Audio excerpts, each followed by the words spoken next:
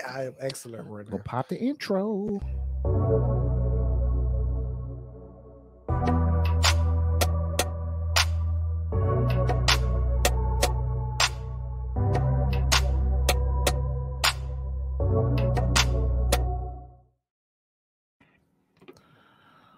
All right, folks.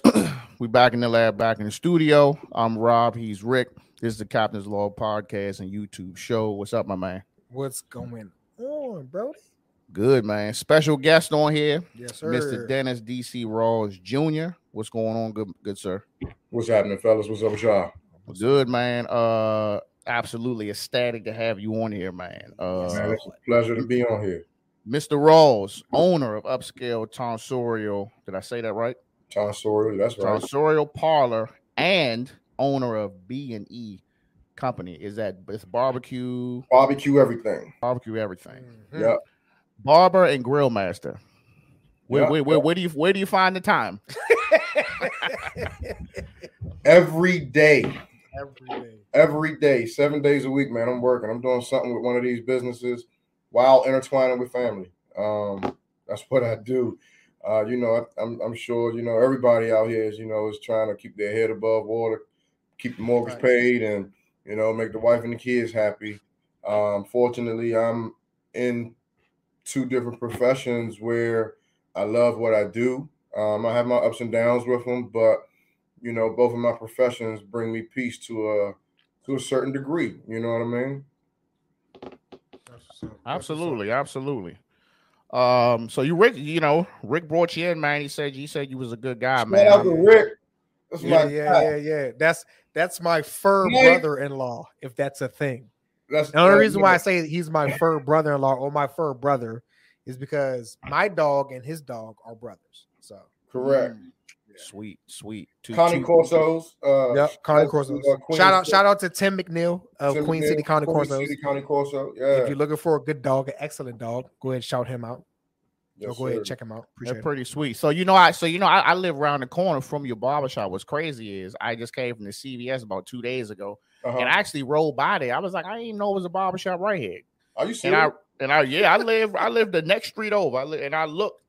It, it was like a it was like a middle of the week, so it wasn't it Mhm. wasn't you know popping like that. I mean, somebody was in there cutting, but y'all was it was like two or three people in there chilling. right. And I was like, I said, all right, well, you know, if my barber ever, you know, if he ever slip, at least I know I ain't got a drive far. You know what I'm saying? Right, right. Hey man, well, praise praise be to God. We've been open for eight years. Um That's what's up. this October 2022, it'll be nine years. Um, Mm. So we we've definitely been doing a lot of stuff.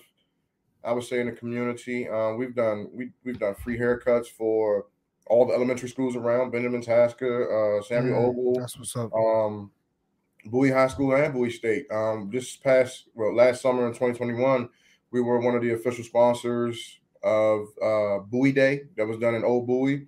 Um, you know, I'm real real big on trying to get the name out there. Now I know we can't reach everybody. It's a shame that I wasn't able to even to reach you, which you, you know, living in the in the neighborhood, I could say. Um, but I hear that a lot. You know what I mean? It's times I go to 7-Eleven, get me a cold water or a cup of coffee, and people are like, oh, that's a barbershop up there. And I'm like, yeah, we've been here for some years, you know, and I've done bulk mail listings. So you probably threw yours in the trash, Rob. You know what I mean? Hey, look, I Sorry, ain't, hey, look, I ain't, I ain't gonna lie to you.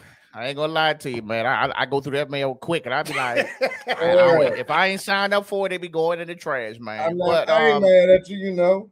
but yeah, we, we just moved around here, but it'd be two years in March. So um, my barber who who cuts kind of down the street in the same shopping center as the Giant or 450. Okay. Um, he was actually cutting in um in uh what's that uh new in new style over there and um what yeah into into style whatever whatever it's called right, right there on 450 with a Home Depot and all that is. yeah, that's in style barbershop. uh, yeah, he Um, was I- cutting I know that owner as well. Yeah, he was they was cutting he was cutting in there first and then he left and went to uh one of the little uh suites over there in Mhm. that that building behind the BP gas station. And then and then they moved into the little salon plaza next to the giant. Okay. across from the Giants. So he been he been cutting my hair about eight years. Shout out to uh, Groom Theory. Uh, Okay, okay. yeah, yeah. But let's get into it, man. Um, tell us, man, how how'd you what compelled you to want to be a barber slash grill master? Um, I'll start off with the barbering. Um, man, I uh, used to have a lawn company when I was a kid, and um, using a weed a weed eater is an art. You know what I mean? I'm sure y'all ever seen guys get that joint upside down and they, you know what I'm saying, they do the edging and the trimming and all of that. Using a weed eater is a uh, is an art. Uh, cutting the grass. I know me and my friends used to have uh, lawn wars, trying to cut checkers in the grass, make it look like baseball fields and stuff, and come back to school on Monday, see how many uh, yards we were able to cut over the weekend. I used to draw a lot. Um, so it just art competitiveness is something that's always been a part of me. You know what I mean? And so with the art, um, I, I, I when I say like I used to draw and everything, I, I just felt like it was something else I wanted to get into. I knew I couldn't be no Picasso or nothing like that. wasn't never good with paintbrushes and free art like that. So it got to a point where I uh, started picking up clippers. I would say I'd be out and I just started visioning different hairstyles, different haircuts, and things like that. So I would come home and practice on myself. And I remember, man, I was in middle school, no elementary school. I messed myself up real, real, real, real, real bad. Very, very. I think everybody has that story where they Yeah, that Oh, one. fuck themselves up. I uh you know, I used to ask my father for some clippers. I was like, man, can you buy me some clippers? He was like, what you need clippers for? We can go to the barber shop. So I took a razor and I tried to shake myself up. I'm bald headed now. Um, I tried to shake myself up and I, I took all this off, like the whole front, everything. And my Mm. father was like, "You just not gonna stop this barber and stuff, are you?"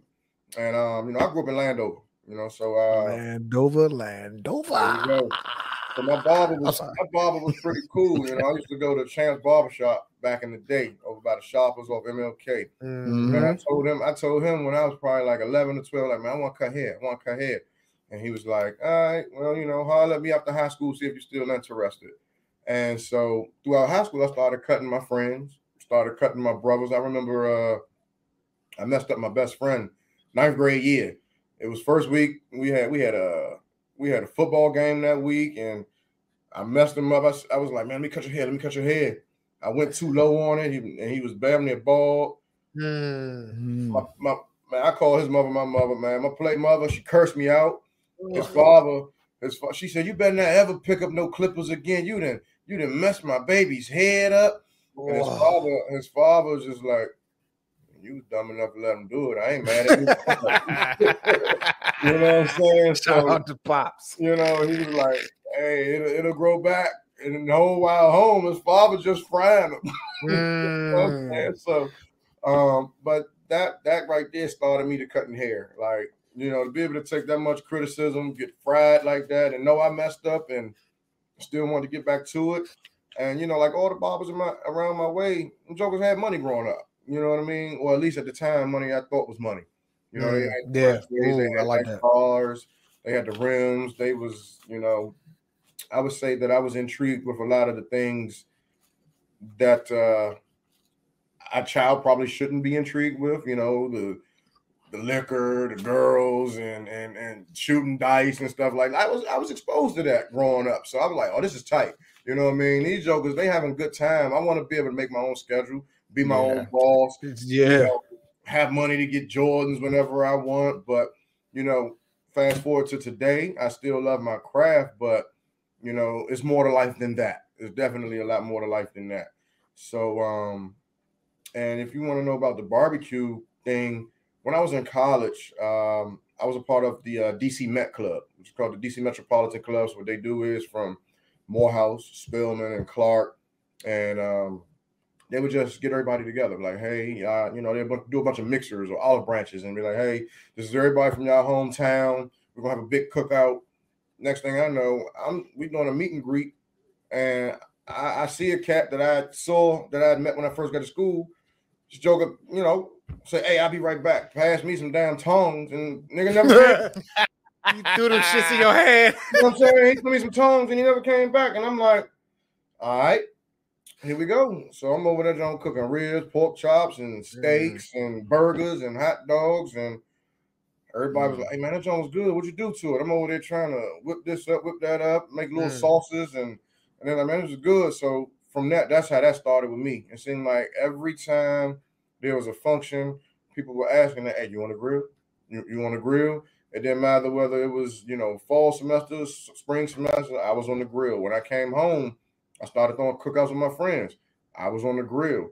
Um, started watching Pitmasters. I was like, you know what? One day I want to enter into competitions. Mm. Um, I went to one competition, didn't even place, got so discouraged, never been back. So then I was like, you know what? I'm gonna have to uh I'm gonna have to stick with just cooking and see, you know, if I can find a, a group of people that like my ribs, like my chicken and and things like that. And from that, I was like, well, I'm out here supporting this company, that company, buying their sauces, buying their rubs. Uh, I need to create my own. Um, never really thought about really turning it into a business. So once again, I'm in the kitchen. I'm mixing this, mixing that, get a nice flavor. I'm giving out my barbecue sauce with all the meals, and people are like, "Hey, that's that's pretty good. You got it for sale." So went to Walmart, bought some mason jars, and came home, made some barbecue sauce, started giving it to people. Um, next thing I know, I'm selling barbecue sauce on my truck, and it wasn't even for no money, to be quite honest with you. A lot of times, I really gave it away. Um, but then it got to a point I was like, you know, a lot of people keep asking about this.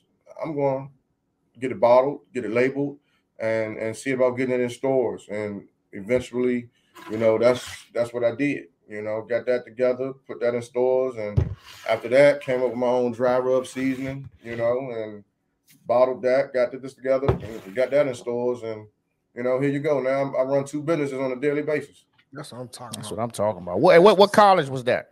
Morehouse College. Okay, okay. Shout out to Morehouse. That's what's up, man. Sir. Yes. sir. What's what stores are your your sauces and your uh, rub in? I am in Giant, only Giant right now. Um, I am in 69 Giants in the area, Mm, the look metropolitan area. Um, I've also just been put in West Virginia, Ohio, Pennsylvania, and Delaware. Mm, that's what's up. Hey, shout out to you, bro. Bro, And I've had the seasoning and I had the barbecue sauce, and it is fire. it's busting. It's busting. I might, I I I got might, like I something- use it, at, but I've used as say as soon as he gave it to me because we exchanged. I gave him some of that Lovey's mumbo sauce, which shout, is shout to Loveys. Oh yeah, I'm, I'm out of that by the way. hey, look, hey, hey, we all we all out. it's coming. I got bottles coming. I've been waiting on bottles this shit coming. about six months. It's the it's distributors, but it's coming. So anyway, but um, it's it's it's official, bro. It's official. It's official. Like, Okay, I- I- okay. it's some definitely good stuff. I'm definitely I do have a little bit left, and I'm saving that for because I did it on ribs and salmon. Mm, But um, I'm gonna do chicken and I want to do a pork butt with it. We'll okay, goes. okay. you know, we're we're a barbecue house, nigga. We use barbecue sauce on everything. like Hey. and anything you would use ketchup on is barbecue sauce. So you see, you the type of customers I want. You know what I mean? Point blank, period. French fries, it'd be, I'd be like, nah, nah. There you go. BBQ sauce. We don't even want no ketchup. Shit. There you go. I'd be walking into people trying to introduce them to my sauce. No, I don't use barbecue sauce. Oh, fuck, get out the way then. Now, Yeah, yeah, yeah. this for people who want it, damn it. That's Yeah. what's up. That's what's up. So, um, is it so you so being a bar? Is this something that you always wanted? Well, I know you went into it the barber thing, but as far as the grill master side, you do you think it's something that you pictured yourself doing as a child, or you just think, like you said earlier, it just fell in your lap, you just ran with it? It it fell in my lap. Um, it was out of nowhere.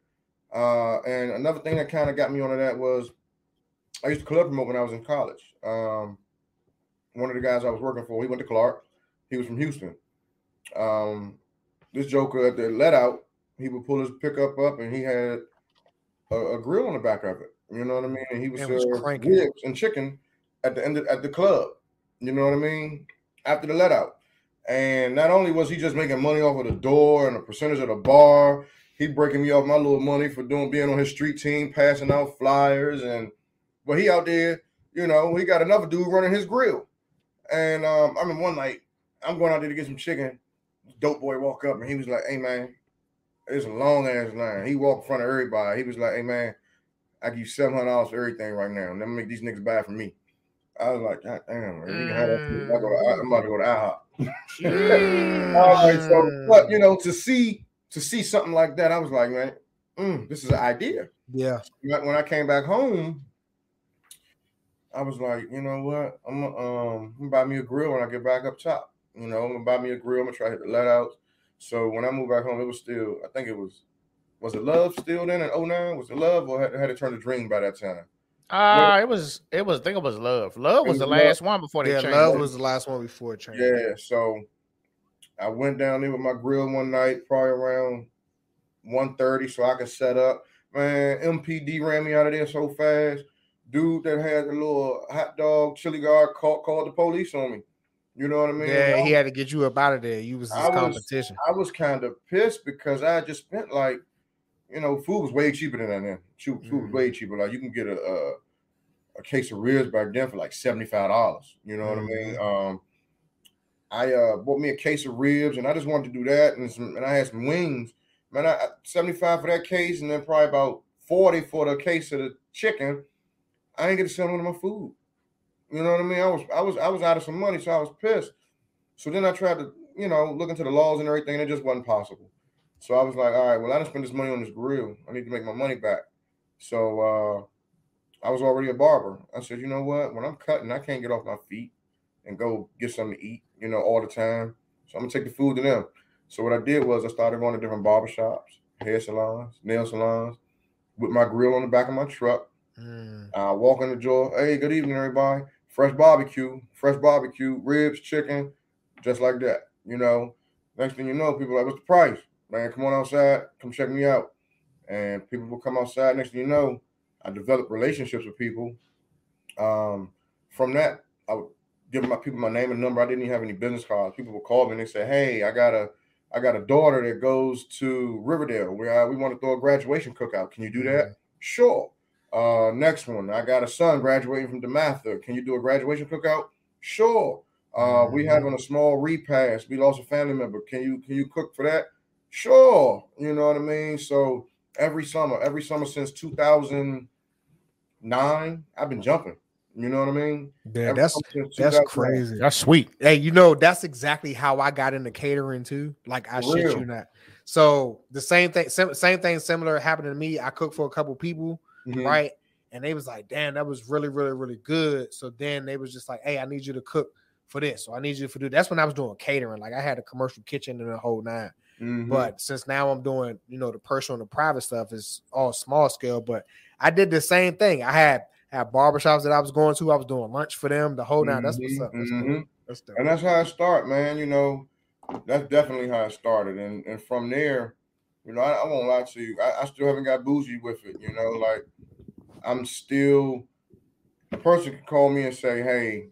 I mean, I do got a, a. I won't go lower than two slabs. Like I'm not about to fire up my grill for nothing less than two slabs. Yeah, yeah, yeah. You know, because yeah. I got something. I got a small enough grill where I can throw it on there. I'm not using a lot of charcoal, and you know that's one of the reasons I like to cook because I can just I can throw barbecue on there and let it roll.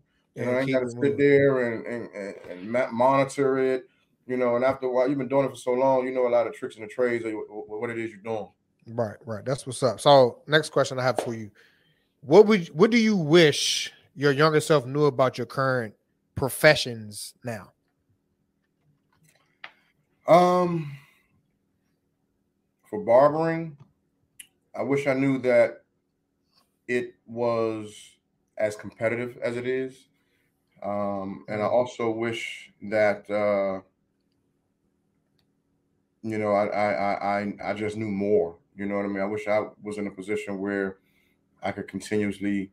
I wish I would have went to school more than anything. Like I would have really told myself, you know, go to a white school, you know, learn how to cut straight hair because cutting black hair is pretty easy.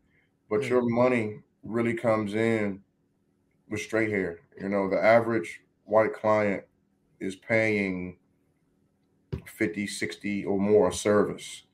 Whereas in, you know, I'm not at this point in my career of barbering no more, but I see it in my shop with younger barbers and even established barbers, like where people are still trying to negotiate the price of having to pay for a cut at twenty dollars versus me having a thirty-six dollar price for my entire shop. You know, you'll get a um, you get a you get a lot of people that come in. So I, I, I wish I would have knew more knowledge. You know what I mean? And Right. that's just as the barber. But on the business side,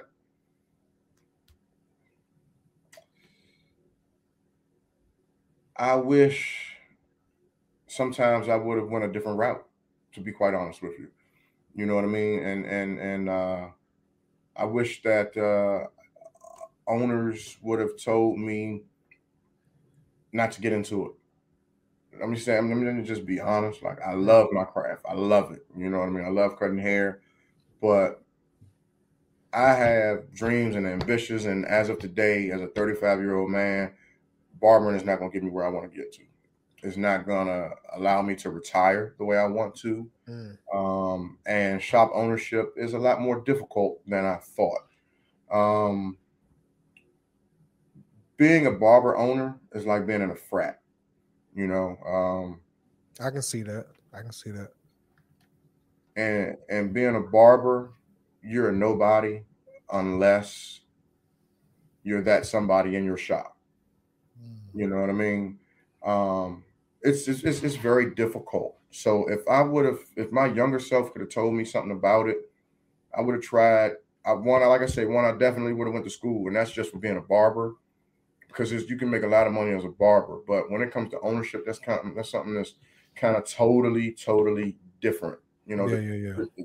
this profession is forever changing. It's still changing, and you know, it's it's getting tougher. You know what I mean? Uh, especially with us still recouping slash still going through COVID. Um, yeah, that most definitely, most definitely. Yeah, you know, you're not the not a culture. You're not the only person who I've heard that is a barber. I've you know, my main barber is a good friend of mine, and one of my buddies from when I was in the military, he cuts hair, mm-hmm. and they both said they'd be like, "Yeah, this is you know, this this ain't gonna be forever." Like I just remember growing up and like the barbers was like old, like they had been cutting hair like 25, 30 years. And you know, you know, I mean, it, it seemed like shit was sweet. It seemed like now you know, you see a lot of barbers come in, you know, maybe our age. And then after that, you know, at that point, they've been doing it maybe 10, 15 years. They kind of looking for another move or or they looking to own some shit. So it, it's it's funny that you said that because uh you know again to go to my folks, they left and started their own joint, like just a little salon plaza, just a booth, it's just them two. But even still, my barber be like, you know, always thinking about doing something else. And I just be like, damn, bro, you ain't you look like you're cashing out to me. But um, you know, I, I get in that aspect of like he be they be in the I'll be in the shop. Your Fridays, your Saturdays, your Thursdays, them y'all late days. You know what I mean? So you so it's like I mean, unless it's, things change, you really only really you really only get to enjoy yourself in the middle of the week, where it's slower. But you know, me, mm-hmm. I come in Friday Eve, I'm trying to get that cut, and then you got ten people after me, and it's six, seven o'clock in the evening. You know what I mean? So you got to you know you got to make that money. Yeah, yeah, I, I, get what you're saying though. And you know, barbers are we're the least respected. You know what I mean? People don't care about our time. People don't care about our livelihood. You'll see in this profession how selfish people are. You know, you'll be like, cancel all your appointments for the day. Hey, I'm not feeling well. Hey, so when you think you're gonna be back at the shop? Nigga, I'm sick. Yeah. you know what I'm saying? Facts. I'm worried about getting no money right now. I'm trying to make yeah, sure I'm good. Yeah, you know? Yeah, yeah, yeah. Like, uh, people, people, are very selfish. you know what I mean? You you'll really realize how selfish people are. Um, when can I come in? When can I come in? You know, uh, I need a cut. I need a nut. I need a cut. I need a cut. Oh, I'm going out of town. Can you squeeze me in? Can you do this? Yeah. Uh, uh, hey, well, I tell you what. Call this client. Tell them I pay for their cut too, so so I can get their spot. Yeah. Hey, I had somebody do that to me, and I was yeah. like, he, he, was like, he's like, hey, the band before you said he said he'd pay for your cut if you can go first. I was like, he paying for my son cut too, and he was like, well, nah, he can do. It. I was like, well, he can wait his ass in the car, and See then that? and then he come in, you know, he let him in while he's sitting in the chair, and I was like, then he said like had a little attitude. I'm like, nigga, are you mad because you want cut in front of me? You know yeah, what I'm saying? Yeah. Barbershop be that that shit do yeah. be it do be barbershop terrible. culture is something different. Boy. So let me let me tell you my thing. So let me tell you thing. So I try, I try to be a good, I try to be a good patron. You know what I'm saying? I try my best. I try to book, I try to book my haircut at least a week in advance. To me, two weeks is pushing and shit can happen, and then you must around and forget. So I'll I'll use a little app. Hey, can you get me in this time? Me and you know, me and my son here I usually try to go a little bit after, you know, my son get home from school. Just try to get in. You right. know what I'm saying? But it's like it be the customers sometimes, man. I I, I think we don't really take take uh, uh account of that. Like my, for a long time, my barber used to like, I pull up, I'll be like, I'm outside. So it's COVID. So it's mm-hmm. like, you know, unless you're getting a haircut, you ain't coming in. Right. So you know, we I sit in my truck and wait. You know, haircut hair, appointment is at five or six. It's at six. So five forty five, I'm in the parking lot. Like five fifty five, I hit. him like, hey, I'm outside, Holmes. He'd be Mhm. like, give me like seven minutes. I'm like, Seven minutes really mean like twenty minutes. bro. You know what I'm Mhm. saying? But then he broke it down to me. Well, then he, he changed this thing where he started enforcing cancellation fees. So it's Mhm. like, look, this is this is how much the haircuts are. You know what I'm saying? The prices, whatever. You know what I'm saying? The price is different for me because I've been cutting my hair for like eight years. Um, but and if you can't make it and you don't call within a certain time, Yeah, you got. it's it's like half of it. It's like a half cancellation fee. So then I Right. asked, and I was like, so I was like, damn, bro, I feel like I'm just like suffering. So then he was like, look, he's like, every time you gotta wait in the car is because two or three niggas coming late Yeah. and one person canceling, and I gotta squeeze. And he was like, so now to smooth things out, this is where I'm going. He was like, you just keep doing what you're doing. This really doesn't pertain to you. Mhm. So I Yeah, I, said think one one or two motherfuckers can fuck your whole the schedule. whole as a schedule. So I so I can respect that. Yeah, definitely. And it, and it, and it goes like that. Um, it's crazy because I got a couple clients. They'll come into the shop and they'll be like, uh, say they got a three o'clock appointment, and they they get there at two fifteen. They just want to kick it. I still keep my shop open. I make sure that people are socially distanced, but I like that shop atmosphere. You know what I mean? I like the people coming in talking trash, talking about the Mm. game. You know, I offer we offer liquor at my uh, my shop. We sell cigars at my shop. So I I like that vibe. You know what I mean? We all Mm. laughing, joking, and everybody's in there together. So had a client of mine come early. Like I said, his appointment was at three, so he wanted to show up at like two fifteen. I was cutting somebody at the time, and they was supposed to be out of the chair by two thirty, but my two thirty didn't get there till two forty two. So I'm sitting there telling my client, I'm like, see, you always think it's me. You think I'm playing around Mm. or you think I'm cutting slow. I said, you saw the client that was here when you got here. He got out of the chair at 232. That put me two minutes behind. So what? Who's tripping? I said, but the next one supposed to be getting in the chair at 232, right? Right. I said, he not showing up to 242. I said, so now I'm not gonna be finished with him until got that going 312. Yep. Did you, did you get what I'm everything doing off. here? Yeah, yeah, yeah. Yeah. yeah, And yeah. and he was like, you know, I, I never looked at it like that, man. I, he was like, I, I just thought you was in here bull driving. I said, nah, man, one person. It's it's always it's always people who don't know about the profession though that that gives you the most judgment and criticism. definitely. Honestly, Absolutely. man, my, my best piece of advice for that for that inconsiderate SOB that might be watching, um, you need to schedule your haircut when you ain't got nothing to do. Right. Don't schedule your to- appointment as if you may just have two hours or three hours where you don't have nothing to do. Like, don't Mhm. schedule it Yeah. like like I gotta be here at five and I gotta make dinner at six. No, bro. Yeah, That shit, dinner gonna be definitely cold. people, I'm like, hey, don't don't book me around your plans. Yeah, you know, yeah, because yeah. anything can happen. You know what I mean? Anything can happen. All right, that's what's up. All right, so tell me about three influential people in your life and how they impacted you with all your career decisions and professions that you have. My father, I get my work ethic from my father. Okay. Um, he's definitely impacted me. I'm a junior. You know, that's my senior. Shout Um, out to Pops, good shout out- man, met him. Oh yeah, yeah. We was in the garage with Pops smoking a stogie. Yeah. Yep, Shout out to Pop. Um, man, my father, he he he taught me how to work, man, and he taught me how to humble myself. Um, I love that man with all my heart, and I'm like, that right there is who he, he taught me how to work, you know, real talk. Um, so my father, number one. Number two, I would say uh Jordan, Michael Jordan, Michael Jeffrey Jordan. Uh, Mm. always a Wizards fan. Uh, born and raised a Wiz- uh, well, Bullets fan. Um, but Michael Jordan was just that competitive. Like, you know, I, I, loved Jordan growing up as a as a fan. I watched him play. Um, I really remember the 92, 93 championship. I remember the 95, 96 championships and that competitive edge. Like, so it was kind of like me. I grew up playing sports, played basketball and football my whole life. So always wanted to be competitive, you know, always want to play at a high level. Um. And and shout out to him, you know, Jordan for that because I mean everybody wanted to be like Mike growing up. At least I did, you know. I, I didn't grow up a, a Kobe fan.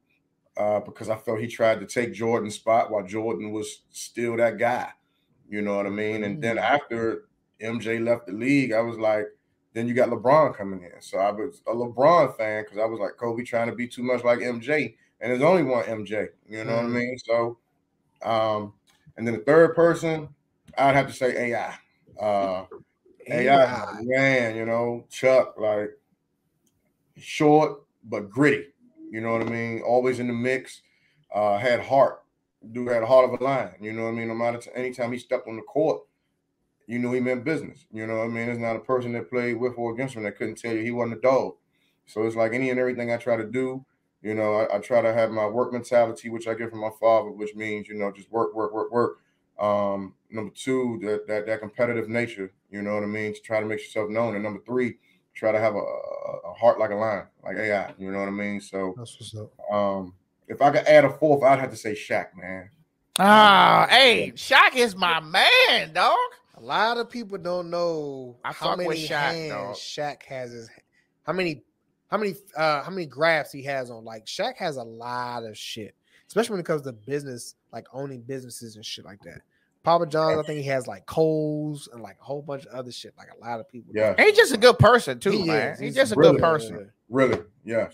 Like I, I like you see them videos a of him. genuine person. You see them videos of him. He be like buying kids shit and all that. I don't. I don't be thinking he Mhm. be doing it for the clout. I just think that's, That's just who he is. he You know what I'm saying? it's him, man. Did y'all watch Shaq Life? Well, I watched a little bit of it. I think I caught an episode when his son was was wrapping up uh one of his high school games, and he said if if he dropped twenty five, he give him like five grand or something like that. That's the last one I Mhm. saw. Yeah, yeah, man. You know, Shaq, Shaq is a beast, man. I actually, um, I have a, I have a business coach. Mhm. I also got a therapist too. Um, and Shout out uh, to therapy. and uh, I can't remember which one it is. I know it's been a bunch of people, but a lot of people tell me I got too much going on. You know what I mean? As far as running the barber shop and you know owning the barbecue business and working seven days a week. And I said, man, y'all don't tell Shaq that. Now I said, no. Granted, he got way more money than me, but Mm. y'all ain't telling this man not to be a sheriff, which he is. Y'all ain't telling this man not to work on TNT. Y'all ain't telling him not to be on the board member of the Papa John's. Y'all ain't telling him not to, you know what I mean, uh uh invest in Walmart because you know he still got the shoes in Walmart and stuff like this. Yeah. But at the end of the day, if that black man can run four or five businesses and wear six, seven different hats, why can't that be the same? Mm. You know what I'm saying? Like, I just feel like everything comes down to a balance. You know what I mean? Everything comes down to a balance. I like it, bro. So um, so tell me, man, what's something about your industry that surprised you lately?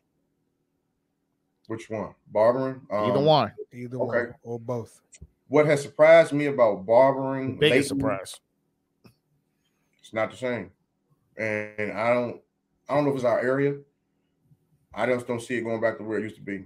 I don't think the shop atmospheres or shops will be the same no more because of COVID. So many people want to be by themselves. Yeah. because of egos, owner egos, barber egos. So many people don't want to work in shops because of safety reasons with COVID. People want their own studio suites. Um, you know, um, I think it's going to forever be like that. I really Yeah, do. so- um, So we were having, I don't mean to cut you off, but we were having a conversation about this last episode about barbershop culture specifically. mhm. And do we think it's changed? We both agree that it has changed, but we don't know how much it's changed. And you're giving us an insight right now on how how how difficult it is right now being in a barbershop. Because as kids, we look forward to going to the barbershop. Definitely. Just especially as younger. You know what I mean? We look forward to go to the barbershop to listen to the conversations. yeah, Or even as we got older and we were young men and like in our 20s and stuff, we look forward to go to the barbershop to get them, them pair of socks, to see whatever DVD CDs, or CDs that they selling or oils or air incense fresheners, or scent, air freshener car stuff. You had that one dude that was working on everybody's car and all he had Yeah. was some duct tape, a fucking butter knife, and a lemon. Like Hey, we that still got that at not- UTP, man. Shout out UTP. We still got all that. Come on, All right, through now. bet. All Send that, right, send all right, that, they sorry. still there. But you know that the, the piggyback off that, man. Um, uh, my barber told me he said, I because I asked him too. I, I said, bro, like y'all feel like y'all recouped, and he said, hell no. He said, bro, he said I used to have niggas come in here every week getting the full shebang, getting the full, getting everything, getting getting Mhm. the hot towel. You know what I'm saying? Get getting the joint whole joint tightened up. And now because they you know they stuck home, they teleworking and all that. Now they done gone on YouTube and start figuring shit out on their own. So as he was like, Mhm. now some of these people who was regulars just come in when you know maybe the shit they got out of hand or it's just a special ceremony. So he was like, definitely. Like I remember when it like this was what 20, 2020 in the summer. My barber was Mhm. cutting my hair on my deck, and he was cutting my hair in my garage because the shop was shut down. hmm And then and then you know with these variants and all that, man. I mean, I, honestly, I'm, I'm happy. I'm happy that, that, that, that your shit is open and you can still kind of operate. You know what I'm saying with a sense of normalcy, bro. But I think it'd be a while, man, before you know people just really, really pulling up, crowd up in the shop. You know, just doing what men do. You know what I'm saying? I always tell my I tell my son, I said, I can't wait till you old enough to go on your own or by yourself. Mm-hmm. So he can go and he can go and get that journey. Like I was going to the when I was It's like a young- rite of passage for a yeah, young yeah, man. yeah. I mean, I, I grew up in Montgomery County, so it's like, you know, and it's just just me and mom. So she just give me the little money I need, and I will walk to the barber shop right. and do my thing and go find, you know, find my barber who was going to be that guy that was going to cut my hair all through high school. Yeah. You know what I'm saying? That was an achievement in life Hell to have yeah. one barber that you always went. you ain't want to be flip flopping. Nah, Right, nah, nah. right, right. Hell You don't want no. flip flop, dog. Hell no. Most definitely. That's crazy. That's good though, man. But um, as far as uh, with the barbecue industry, something that uh, has surprised me lately is uh, how difficult it is to make business relationships in this county, which kind Is of it- makes is- me. do you think it's just this county, You or would it's- you do you say think period? Do you think it's just people? I don't think it's people. Um, I'm I'm I'm a firm believer that uh, one hand washes the other. You know, it's all about who you know. Yeah. I mean, I think certain paperwork get pushed for certain people. I think uh, certain things are allowed for certain people. Mm. Um, you know, I've just seen. I've been down so many closed roads and had to U-turn and go do something else just to survive with food. You know, Mm, um, facts.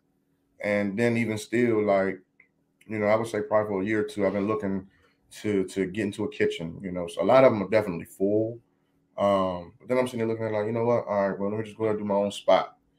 Of course, it's going it's, it's going to cost a chunk, a chunk of change, but when you realize all the stuff you got to go through, the permits and this and this and that, you're sitting there looking at it like, damn, by the time you finish, man, you probably about it between seventy and a hundred thousand. Is it worth it? You know what I mean? And then you know, uh, I would say other counties like Montgomery County, uh, Anne Arundel, they allow roadside vending. You know what I mean? yeah. So Prince George's County doesn't allow that. Um, it's it's really surprising to me how tight Prince George's County is, and it all has to do with money. Prime example, um, I stay on eBay, stay on Facebook Marketplace. One man's trash is another man's treasure. I'm always looking for like the best deal. Mm, facts. So I'm right there with you. so I came up, and I know I'm not the only person that has come up with this, but I saw, and what I wanted to do was purchase one of those shipping cargo containers that y'all see on those big industry Mhm. boats that you know do a lot of our trade, um, Yeah. season or anything like that. Conexes. Yeah, I wanted to purchase one of those. You know, on eBay, the cheapest I saw one was probably like forty five hundred dollars, and I wanted to rent some some land, private property from Mhm. somebody in Prince George's County. I figured out the part, that land or whatnot, and I'm glad I didn't pull the trigger on getting the trailer because uh, I've probably been stuck with it. Or I mean, I would have made it work to the best of my ability. But anyway, Right, right, right. I wanted to get the trailer, forty five hundred dollars, and I wanted to turn it into a commercial kitchen for me. You know what I mean? And hell, Rick could have came through there and looked out, did used it. You know, I wanted to literally get it licensed by the county for me to be able to food prep, want to uh, cook, and real talk. I was just and all that. I was gonna put some picnic tables up and tell people come get barbecue on the weekends. You know, because Monday through Friday I'm in the shop. So I take this plan down to the county, right?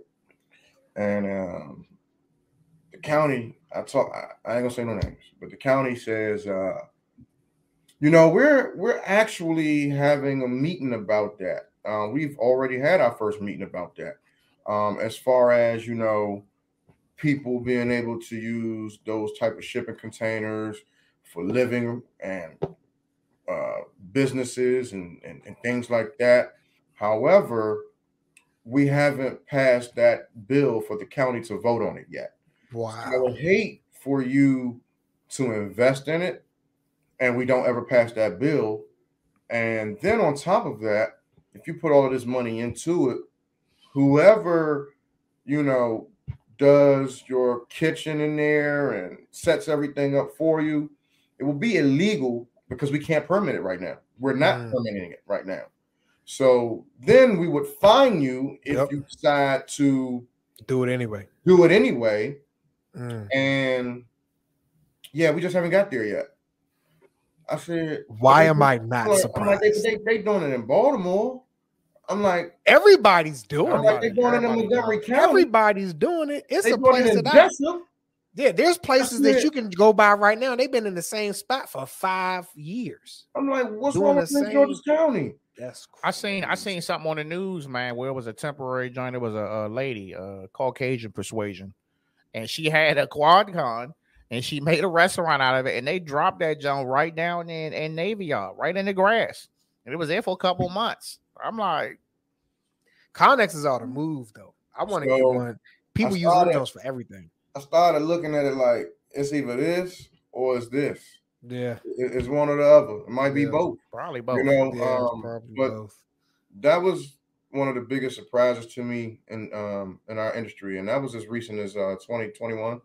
maybe Mm. 2020 in the summer because uh and you know because of that like i don't i don't know how much more i want to do with food for real you know i don't want nobody having that much grip on me and nothing i do you feel me Right. you know what i mean to to a point where they they saying hey you can't do this hey you can do that that's the reason i became an entrepreneur in the first place you know what i Absolutely. mean take my own set of rules and, and work how i want to work and how i see fit Right. you know what I mean? Like we we all grown here. Like I, I- yeah, you know, this county, it's uh, it's it's it's tough, man.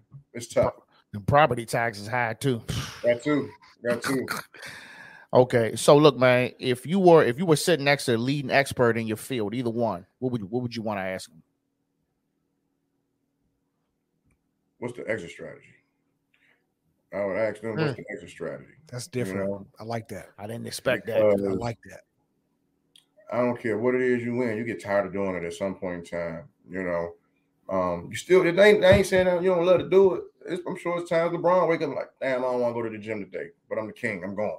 You know what I'm saying? So I would say, like, what's the exit strategy? Like, when you get to where it is you want to be, what's next? You know, because you you don't want to fall back off. You want to still maintain where you are, or at least you want to retire or do something that'll keep you where you are. So, um, and then I would also ask them how to get through the difficulties. I don't think a lot of people prepare enough for the for the for the failures. You know, no matter what you're doing business, you're gonna have a lot of hiccups. You know what I mean? I would also ask, like, what do you I would ask I would ask a lot of questions. And I don't ask questions. You know what I mean?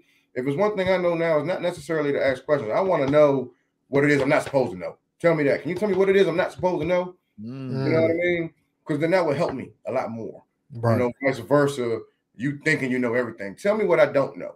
I give you. I give you a prime example. And my um, this past summer, the air conditioner went out in my shop. Mm. We were without air for a month. A Mm. month. And it was three weeks out of that month where it was 95 every day. I had three barbers say, I'm not coming back to work until the air is working. I'm gonna go cut home, cut at home, or I'm gonna go do house calls. I'm pissed. Shop don't make no money from them. Then I gotta come out my pocket to pay for those chairs. So I call my management company. Now, in my lease agreement, so what I know is that it's my job to maintain the HVAC system. That means I got to get it serviced. That means I have to uh, do anything like if it breaks, I not like completely breaks. That means you know when it needs new air filters, I got to do that. When it needs to get serviced, I need to do that. If it needs some tweaking, I got to pay for that. Just regular maintenance. Regular maintenance, shit. that's like on no me. big shit. Not no. That's okay. that's on me. So I had the company I was using come through and give me an estimate, let me know what was going on with it. They say, man, you know, this building has been here since the I would say 80s. You got a mm. dinosaur of a unit. We recommend you replace it. I said, all right, well, I'm gonna call my management company. That ain't on me. You know, Right. and I'm like, but what's the price of that though? He said, Oh man, you're looking about 18, 20,000 dollars. I said, What? I said, Yeah, let me call management. Let me call management. Call, Call them right now. I Call told- I will. I will write a letter. Um, I call management and they they say, uh, oh well, you got to take care of that. You know, that's, Wow. that's on you. I said, hold my lease. I go get my lease. I said, my lease don't say that. And they said, well, if you also see here in parentheses, it says section one oh blah blah blah blah. They said scroll to that. So I'm flipping pages. Uh, I look at the joint and say that if it breaks, I got to replace the entire system. Mm, So fine like- print. The fine print, right? Jeez. So- wow. I'm I'm like I'm pissed, but it's like one of them type of things where I've been screwed so many times in business. I don't even really get mad no more. I'm sitting there Mm. looking at her like, you know what? It's just another one for the books, man. This is something Yeah. to know. You know, if anybody should be mad, it can't be me because I didn't know no better. I started this business when I was 25 years old. I was just worried about getting in here and opening my shop. And I've learned something every year I've gone on. And I said, but this is definitely a lesson learned. Now, of Mm. course, I'm not about to sit here and let you stick me with a $20,000 bill. So I got another opinion. I go Of to course. another opinion. They come back and they was like, yeah, man, we can replace your whole unit for 12. You know what I'm saying? I'm like, all right, so now they talking 18, 20. They come down to 12. I'm like, either way y'all put, it, I ain't got money for none of this shit. So um, I yeah. called management and I'm like, hey, one person said 20,000, another person said 12,000. They said, well, we're going to send our people out there. So their people come out there and their people was like, yeah, he uh he need a new unit. We recommend him getting a new unit. So Mm. management come back and say, well, our people say they can do it for you for 15. I said, hmm. I call now start hitting the streets. I'm like, man, I hit my man. He he just started his own HVAC company. I call him. I'm like, man, come check this joint out for me, man. I'm like, these folks, they they they trying they trying to hoodwink me, man. I don't I ain't I ain't getting no whole new unit. I can't afford it. So he Right. called me. He was like, listen, all right, I'm gonna tell you like this. You got an old unit, but I'm gonna rebuild the inside for you. Mm. You know what I'm saying? He said, I'll rebuild the inside for you. I'm like, man, how much is it gonna run me, man? He said, Oh, forty three hundred dollars. I said, run it. Run it. I got that. Quick. said, do that. Run that. I said, but let me know what you're doing. He said, all right, all right. You familiar with old schools? I was like, yeah. He said, you know, they was 70s, 80s, you know. He said, they don't really make the parts for them no more, but they around. He say, so Mhm. but at the same time, all cars work the same. Just like all these machines work the same. He say, so what I'm gonna do is I'm gonna build a band-aid to your problem, which is your air compressor. And he said, Your air compressor is going to be your band aid. He said, I'm to rebuild the air compressor for you, damn near Mm. from scratch, using some of the Mm. old parts, a lot of this new stuff. This way we can save your unit. And I said, How much more time is this going to give me, like out of this unit? He said, At the least, it's going to work for another three to four years. I said, Oh, bad, That's run it. Good, you And good to he go. said- and he said, On the long term, this one might not never mess up again. You just got to keep doing your daily, your, your, your Yep. routinely maintenance. I was like, all right, bet. So I call management. I say, I got it taken care of. Don't worry about it. And they say, so what do you mean you got it taken care of? None of your Yeah. fucking business. they they missing out on that fucking You that I extra said, "You-" I said, like I said, I got it taken care of. We They got shoulda air. took care of you. You know what I'm saying? We got air now. Point blank. Period. Well, I, I hope you ain't. You know what? It, I said it don't matter. The air's working, and I took care of it. Yeah. So, real talk. My lease, I'm taking that compressor with me too. Fuck them. Yeah. Stand that good shit. Hey, good shit. So, where or how do you self educate yourself, especially with everything changing in the industry that you're involved in? Like, even for barbering, I know there's always some new clippers or some shit that comes out. Or either with cooking, there's some new way of cooking or smoking or grilling or whatever. Like, how do you self educate yourself when it comes to that stuff? First and foremost is prayer, you know, asking God for guidance. Secondly is uh Hallelujah. um man, I, I network a lot. So I'd make sure I hit barber expos. And when I'm at the Mm. barber expos, you know, all these guys are telling you, hey, this is my Instagram page. I follow them a lot. You know what I mean? Like Mhm. you said, your barber was doing the whole shebang with the hot towel, the gel, and the facial mask and all that. I would have known that if I would have went to a barber battle. You know what I mean? Mm. Because when it's a barber battle, what happens is you normally got some barber pioneers that come in and pretty much explain on a panel what it is they do, what separates them from their peers. And from there, one light bulb will go up like, all right, I'm gonna start doing that. And the next person talk, all right, I'm gonna start doing that. So I, I I steal a lot of information from a lot of people and I entwine it into my arsenal as far as how I can get better. And um, I, I study their moves and I implement a lot of that stuff into what it is I like to do and make it my own way. Um, That's the same thing with cooking, though. it's the exactly the same thing with cooking. Exactly the same way with Uh, cooking. Is everybody's made the same shit, but you just got your own flavor to it, which separates yourself from everybody else. No, that's what's up. I agree with that, John. Now. So um, you know, it's just it's more so about uh being on YouTube, um, Instagram. They they're very very influential to me and for me. You know, that's how I self educate. And uh, yeah, it's it's that has been monumental to me. You know, like a lot of these barbers or shop owners I follow, they're from different, definitely from different cities and states. Hmm. Um, but they're doing stuff we're not doing here, which is what I, what I like. You know what I mean? So you got it's a lot of it's a lot of talented barbers out here, and it's a Mhm. lot of established owners. You know what I mean? So definitely, you always got. I try to find those that are doing what I'm not doing, and I like what they're doing, and I can tell that it's working. I I, I follow that. Cool, man. Cool, cool. All right. So, what's been your most inf- influential resource? Well, he, he already answered that. Yeah, you pretty much other other than Facebook, right, and everything else. and shit, Is there any other influential source for for both of your professions outside the normal? Um, I say the fact that um, you know, whatever. Like, I I, I have uh hobbies, so I'm I'm often influenced by money. To be quite honest with you, I love to make money. Um, so I'm I'm influenced by that. Like, if I see you getting money, hey, what's how do you do that? I mean, um, I'm not one of those proud type of people that's gonna sit back and hate. I want to know. You know what I mean? Um, I would say me knowing that I want more, it influences me to make more money so that I can get what it is I want Mm, and do what it is I want to do. that's what's You like the network. I, I, I love to, man. I love to. Mm. If it's a if it's a room full of people, man, I'm I'm gonna try to introduce myself to half of them, if not all of them.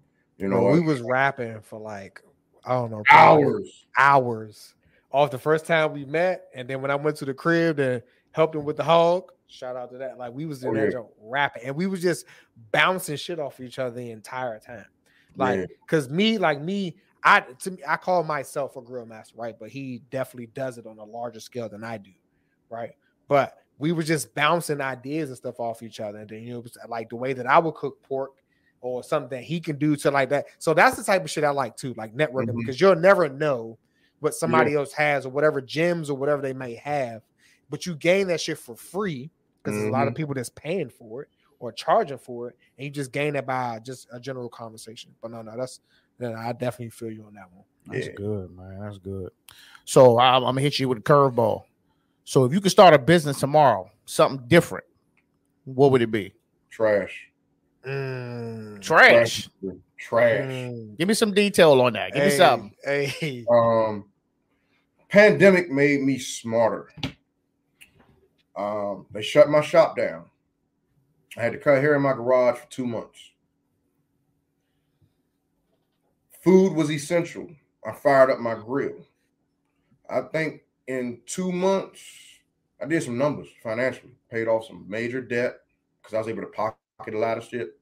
But one of the things I realized was they were still picking my trash up every two every Monday and Thursday. Mm.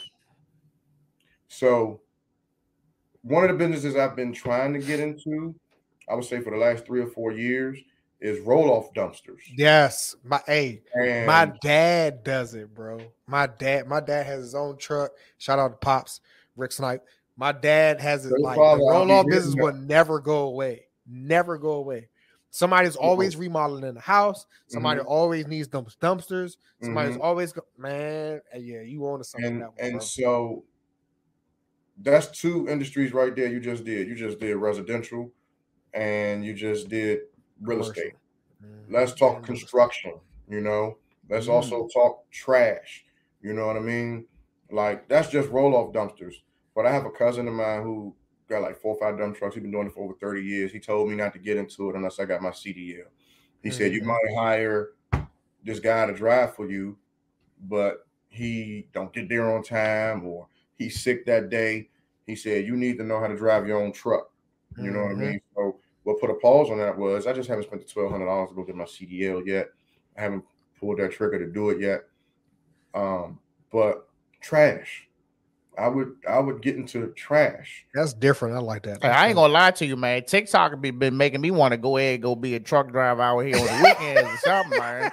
That shit look Man. like it's fun, dog. Um, we just started a truck company, so that's my third business. We already um Shout out. That's what's running. up. Congrats. Boy, you on killing. bro. right way trucking, uh, right way trucking on services and LLC.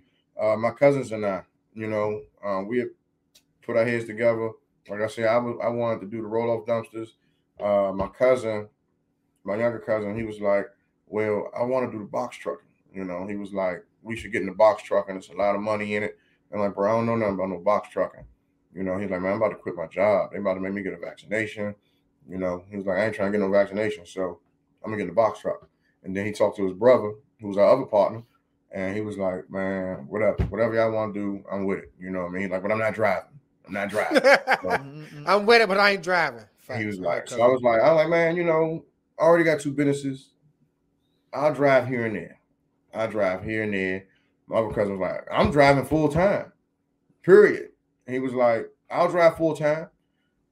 I said, all right, let's do it. So right now, um, like I said, we just passed Maryland State inspection a couple weeks ago. Um, right now, we just um, got a new got a new load board that we on DAT load board. So I would say we were supposed to be doing some. I was supposed to do a load tonight, actually after after our interview. Um, but they I won't get back until too late tomorrow morning to get my son to school, so I didn't do it. But uh, yeah, so that's my third business now, trucking. That's what's up, bro. Boy, you killing. You you you kind of you answered the last question, but I'm going I'm going to ask you just because it's on here. If if if what occupation other than your own would you like to try? I guess you did kind of answered it. Well, nah, uh, I gotta. Um, I want to. I want to do something like where I can be on TV, like what y'all doing this podcast. It's tight, man. Really? You know I mean, I, I I would really like to pick other people's brains. You know what I mean? Like a lot of the podcast thing has really taken over lately. Put me on somebody's news. You know, Um, let me. Y'all ever notice how like even here, a lot of our newscasters ain't local. Like it ain't no more Jim Vances. It ain't no more uh, uh, They come from other states. Jim Browns. You know, Jim Brown went to Mindful. He from here. Jim Vance with the Curl. You know what I'm saying? Like we need more local newscasters. You know what I mean?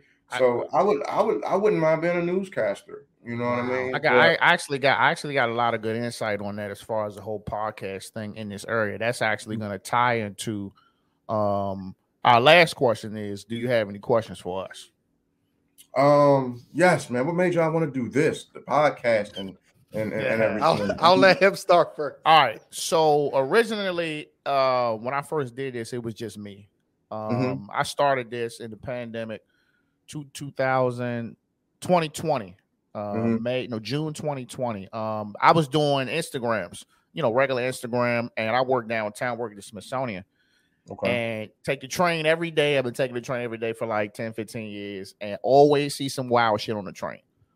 Right. And every time I would get off the train, I'd you know pick my phone. I'd be walking. I'd be like, "Captain's log," and then just be like, "Let me tell you about this goofy ass nigga on the train, do do do do do," or let me tell you about this little journal shoes was leaning, do do do do do. And I was doing it. I probably did it for like four years, and not mm. even realizing like people was loving it. like to the point where the podcast thing really started to say, like, bro, you should start a podcast, bro. You should start it. And I didn't know shit about nothing. You know what I'm saying? I Mhm. ain't know where to start, you know, what equipment, where to broadcast it, you know, who my audience was, what my niche was. I didn't know none of that. I just knew that, you know, I got a gift for the gab and I'm goofy, so I can do it. And um, but then I kept putting it on the back burner, man, and was, you know, looking for new jobs and shit and kept getting denied. And I was really down. My wife was like, start the fucking podcast. You need to find something to do. You know what I'm saying? Mhm. Because at this at, at this Shout out to your time, you know. Oh yeah, yeah, absolutely, absolutely. My my number one fan. Um, and you know, at this time, you know, I was doing the motorcycle thing, you know, but I wasn't. you I was. I yeah, yeah. I used to race. For real. Yeah, yeah. I used to race. I race. got a cousin that race. What's his name? Uh, they call him Trini. Um, Marcus. Trini. That's my man. Damn, Hey. small world. he know me. He Trinity, know wild me. ass. I used to ride, I used to ride with that nigga all the time. I, I, still, I, Yeah. I just sold my bike, so I mean, I was just there last year. Yeah, yeah. Yeah, I ride. I ride a Harley, man. I'm trying to get one, man, but that that Harley money, you know. you Hey, know, bro, come on, come on out here with me, man. Come on out here with I, me. I'm bro. trying to get some. I, you know, initially I I wanted to I wanted to glide and all that. I was like, man, bro, I I. Yeah. I just need a commuter, bro. You know what I'm saying? I'm I I ain't tripping some- off I just do some apes on my glide, for man. real. Yeah, I'm gonna get one. Mm. But um, so then um, Trinity. Jeez, you know, um, I was doing it, man, and you know, I put the podcast out. There was a lot of support in the beginning. Them first like 15 episodes, man, I was getting you know 100, 200 views, downloads per per joint. And then I Mhm. and then I started trying to like expand.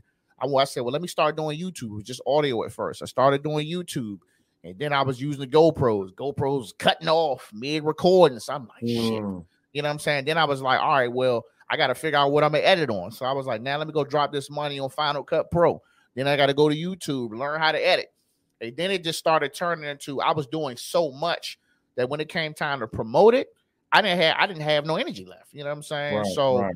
then it's like I put like 40 more episodes out, man, that people wasn't really listening to. You know, so um at that point, man, you know, um I was, you know, just kind of networking with other podcasters, and I was on another podcast that was here. Mhm. And um um my only thing with the podcasters that are here, no disrespect to them, but they everybody talking about the same shit. Mm. It's it's relationships. Yeah. And that no diss to that, but that's easy. You know what I'm Mhm, saying? mhm. Get on here and talk about what what ladies don't do for you and what men don't do for you and and like some reality TV drama shit. That's easy. That's why that's why it's, that's why it's reality TV. That's why it's popping.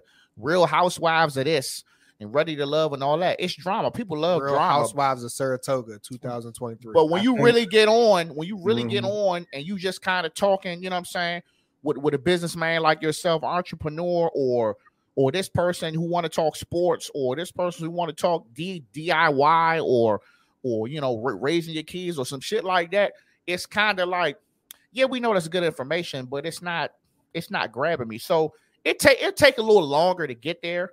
Mhm. And um, podcasting, it's a it's a long road, man. Like you got to be able to record hundred episodes that nobody that nobody will listen to. Wow. Because at that point, you you didn't you didn't work out all your you worked out all your kinks. You got a groove going.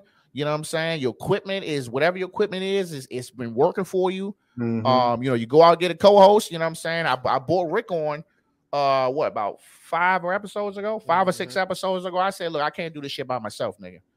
You know, Rick was calling me, talking to me about my shit to the point where Mhm. I was just like, Come on aboard. I was like, it sounded like this nigga trying to get on. You know what I'm saying? so I waited, I waited to I, about I wasn't. Let's be clear. I waited to Christmas and I was like, bro, what you gonna do? And you know, and, and he been he been killing this shit ever since. Definitely opening my eyes and really taking the weight off or off my shoulders for some Mhm. shit that I, you know, that I may not that I may not see, you know, as far as guest graphics, ideas, period. You know what I mean? Fresh ideas. So um as far as like the monetizing aspect, man, you you, you gotta be up there, man. Um, you know, just it's it, as far as being up there and not being a prior celebrity or some shit like that, like it's different. If I used to rap in my 20s and I come out and make a podcast, I'm gonna have a hundred thousand, you know, uh, uh fans off bucks. But when you're nobody. Start from got to grind, bro. That's just like you said, you got to go out here, you got to try to set up a little stand, have some people try your shit. You know, I got to go out here and put a little clip on TikTok here and there. You know, Yeah. get in there, join and engage with some folks on Twitter. Start tagging people and shit. So, um, it's a slow road, man. But I, I I've I've enjoyed it, man. I've enjoyed the growing pains, um, and the, whatever the future success is. Yeah, that's what's up, man. What y'all what y'all drinking tonight, man? Uh, we, we got some Stranahan's. I don't know if this was my best buy, but uh, yeah, Stranahan single malt whiskey. Okay, It okay. ain't bad. Trini, man. Hey, look, Trini wild, man. We we look. I rolled with Trini. Look, I knew Trini when he rolled on the street. And we, used to, Yeah. we used to get in his ass because he came out, he wasn't wearing no gear. I used to be the gear Nazi. Okay. so I was okay. like, Bud, I was like, where your leathers at? We used to be tearing Harry ass up, man. And uh, he was out there, John, with, with some sneakers on and, and some wide leg jeans, bro. I'm like, Slim. I'm like, you fall hit this ground, you're gonna be getting the skin graft, man. And then we made our way to the try. I know his whole him, his whole his whole crew. All of us Okay. rolled together. I asked him, be like, hey, you know Boogie? He know me. Yeah, yeah, yeah, definitely. He, he mad, he mad that I sold my bike. Oh man, he probably would have bought it from you. Nah, nah, Nah, nah. Shit. nah. He, he got he got He a got lot of money in here. I mean, I had BMW. Okay, okay. And um, but that thing was old, man, and um, it just couldn't. You know, once you start racing, man, the game changed, the money changed, you know, the fun changed. Mm, That's you know, if you ain't got that money to back it up, you know, them track days was different. You know what I'm saying? You just spend your little two hundred fifty dollars, you go out there have fun. You go race, that shit like twelve fifty. You know what I'm saying? on track. Yeah. If Oh, you- trust me, it if track it track is life. you go out understand? that joint, you go out that joint, and let's say you're gonna do a race weekend, you know, up up, up at Summit. That's where we was going. That's on West And- Virginia. Yeah, yeah, that's that's Okay. that's that, that's our home track. And you go up that joint and say you want to race. Let's say you're gonna do four races. Mhm. That's that's three. That's almost four hundred right there. That's Okay. just paying for the races. Then you're gonna need. Then you're gonna need your fresh set of tires. You know what I'm saying? Whatever tires you're running, that's that's four something right there. We already we already at nine. We ain't talk about gas. Whether you running regular gas or you running MR12, we ain't talk about the gas you put in your vehicle to drive. We ain't talk about the food you got to eat. We ain't talk about if you fall. you know what I'm saying? Man. So that's just minimum. And then you talk about doing that shit once, twice a month. Yeah, I'm gonna ride out there one time, man, so I can see how it is on the track. I ain't in the racing. I went out there one time. He and came out that joint, and seen out that that- joint, sweating my ass off. I got the experience of my lifetime. for real. I, I was out there for five minutes. We was already trying to take somebody back to the hospital because they didn't crash. yeah, Yeah. yeah, my man Yeah. crashed, man. Yeah, he had to get back. So I had to help and drive somebody else's vehicle back and get back. Shit, Trinity Trinity fucked himself up that day. That same day. Mm. Was it that same day? Yep, He fucked some he fucked himself up. he failed too. he failed that day too. So it's just Wow. like, God damn, like this track life is no bullshit. But it's fun and it's exciting. Like I used to do motocross as a kid. Okay. So I didn't do the straight shit. I did the dirt shit. So I, I no, I, I I enjoyed it. I enjoyed driving up there, hitting the track, especially you know, to support my homeboy and you know his crew and yeah, yeah, walking yeah. around, learning shit. You know what I mean? Me, I'm a I'm a sponge too. So when it comes to learning shit, like I'm I'm in it. You know what I mean? So like, Mhm. but I'm a hands-on type person. Like I can't sit. I, I would prefer to go out, touch my hands, read, talk, have a conversation rather than reading a book. I got you. Yeah, yeah. Okay, what's man. Well, look, man, this is a great fucking conversation, man. So we're Thank gonna God. dress this. We're gonna dress this shit up. We're gonna promote the shit out of it tomorrow, and it's gonna come out Tuesday. Okay. 6 p.m. Well, the audio will be out Tuesday at midnight, and the YouTube will be a premiere uh the same Tuesday at 6 p.m. Okay. Well, send me the details so I can, you know, post it for y'all, post it for me, and uh, you know, let all our listeners hear, have, listen to it. Absolutely, what's up. man. So we're gonna end this right here, man, and we'll we'll talk to you on the sidebar, man. I'm Rob. This is Rick. Captain's Log podcast and YouTube show, Mr. Dennis Rawls. Oh, real quick, man, go ahead and get the people your social media handles, man, so they can holler at you. Okay. Uh personal is at Dennis underscore Clinton. My personal IG is at Dennis underscore Clinton. Uh barbershop IG is at UTP Barber Spa. Uh that's UTP Barber Spa. Uh for the barbecue company, it is at B period E period company. Uh once again, that's at B period E period company. Um, other than that, man, y'all be able to reach everything, all my other blogs and everything, the Facebooks and everything via from from the Instagram account. Um, you ever need some barbecue, let me know, hit me up. You know, need a fresh cut? Hit me up. Want to talk some business ideas, investing? Hit me up. You know. That's what's up. All right, y'all. Okay, man. All right, y'all. Copping out.